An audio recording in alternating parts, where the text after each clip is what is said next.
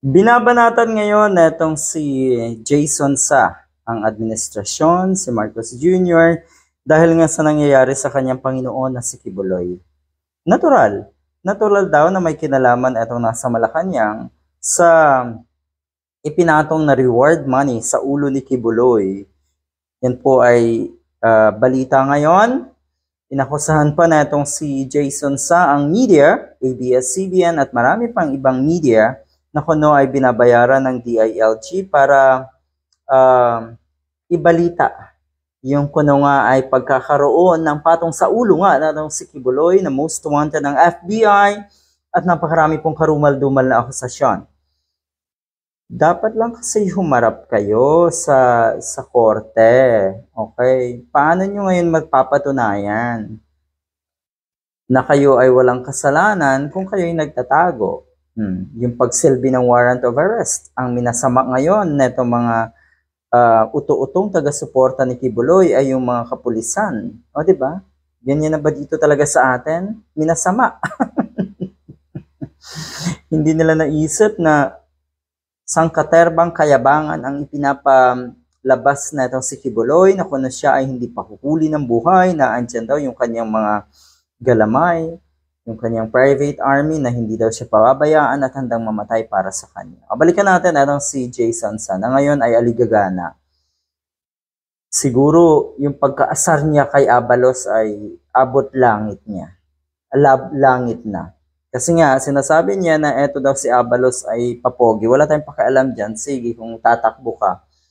Pero sa, sa pagkakataong ito, siguradong talong-talo na kasi itong si Jason sa wala nang kapag-apag-asa. Ang pag-asa na lang niya, may kinakapitan pa rin dahil nasa SMNI siya at syempre nga, yung kanyang Panginoon na nasasadlak sa napakaraming kaso. Ang sabi niya ngayon, eto, binabanatan niya ang kuno ay bagong Pilipinas. Dahil ito daw na kanilang religious leader nga na si Kibuloy ay tinaguri ang wanted.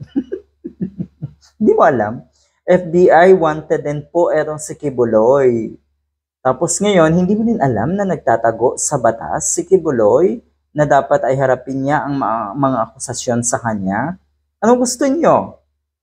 Magtago siya forever? Yung pagtatago niya, ang ibig sabihin wala siyang kasalanan. Ay talagang binabaluktot niyo ang kaisipan ng mga kababayan natin. Ano? Oh, mga honghang na ito, hmm, ayan, at ikinumpara pa nga nitong si Jason sa na kuno etong isang nahuling drug lord kamakailan ay naisama pa sa isang foreign trip naman netong si President Marcos Jr. Yan. So, anong kinalaman? Anong meron doon? anong hinalungkat mo? Naghalungkat ka na naman. ba? Babanatan mo ngayon ang administrasyon or si Marcos Jr. para iangat para iangat yung idolo mo, para i-justify yung pagtatago ng idolo mo na si Kibuloy. Hindi po yan ma-justify. Ano ba? Siguro mas maganda himukin nyo sila or si Kibuloy. Isa ka, Jason, sa sa pwedeng um, mag-convince kay Kibuloy na harapin na ang hostisya, na harapin na or, or magpakita na at humarap na sa korte. So sa sa puntong yan, o ayan, pwede niyo nang mapatunayan nga na talagang walang kasalanan yang yang kuno ay butihing pastor niyo. Blessed, butihing pastor, napakaraming akusasyon, karumal-dumal na akusasyon. Ano yon? Paninira of the new decade, of the new century ang ginawa sa kanya. Wala naman pong ganun. Gago rin. Ano? Good luck sa inyong mga uh, taga-suporta ni Kibuloy.